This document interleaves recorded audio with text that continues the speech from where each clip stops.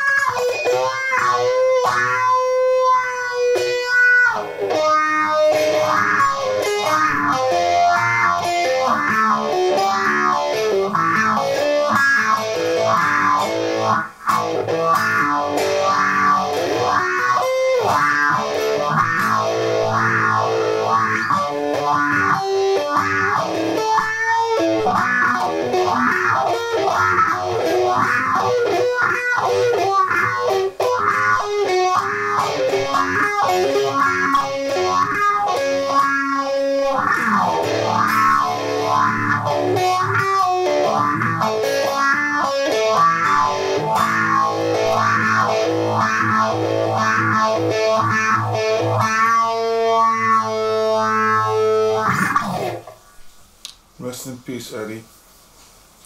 You've earned it.